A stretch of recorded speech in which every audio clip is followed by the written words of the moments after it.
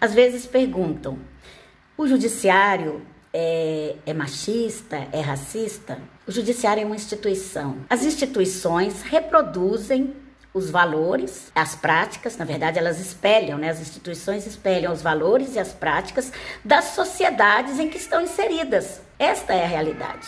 E se a sociedade tem um comportamento racista, preconceituoso e excludente, estas práticas, esta mentalidade se reproduzirá nas instituições, todas elas. E cabe às instituições, às pessoas que as compõem, avaliarem estes comportamentos, trabalharem para desconstruir estas práticas, trabalhar práticas includentes, inclusivas, em oposição às exclusões, à discriminação, à ausência de empatia. Então, se são, se a sociedade tem um viés racista e preconceituoso, as instituições que são formadas por pessoas dessa sociedade carregarão essas marcas até que tais práticas sejam revistas, sejam reavaliadas, até que se